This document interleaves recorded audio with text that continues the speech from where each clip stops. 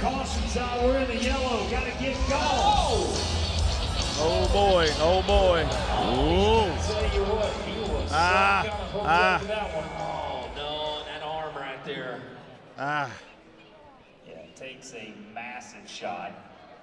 Ooh, and Luciano riding arms. Very Gotta s- be moving into him and Luciano De Castro watching it back here again.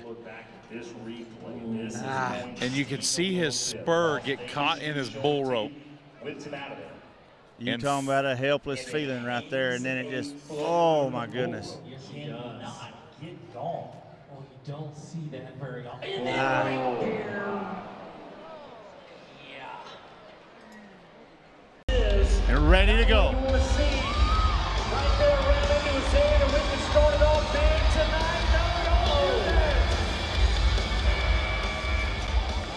And Cody Webster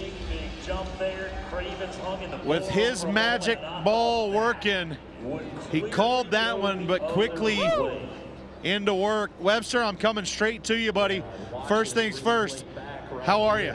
Hey, we're all good, Matt.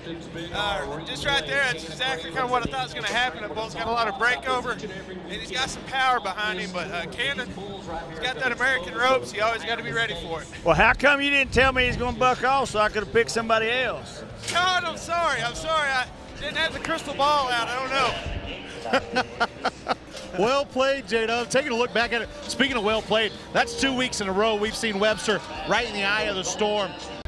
That just got real weird to me. Colton Jesse on bushwhacked. Could this be the one to break the streak? He took a shot. Answer is no. bushwhacked. J Dub, Ay, ay, you and. I right here on the front row, both watching at the impact Colton Jesse just took. And the fact that he is standing up and walking out of the arena, pretty incredible as we You watch this back. You talking about a tough kid.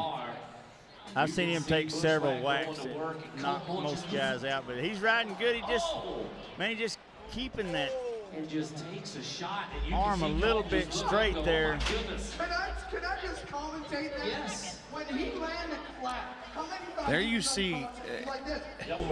But back to Kate's point, that touring pro event that he won, a pretty reputable, the Cowtown Classic. He's not going to get it here. But Midnight Rain was not going to allow a parade on his watch. Bam! All that goes is two. Well, I tell you what, this bull had an outstanding day. You watch the movement around them corners. 44 bull score. Gets his feet up behind him and then just almost stomps him right in the back. Tell you what, this is a, this is an outstanding bull. Bull coming around there. Watch those feet come up behind him. That is sheer power and speed that a, a kid of 19 years old probably hasn't felt or seen that in his young career. Ritter's gone if he can make this eight seconds while still being perfect.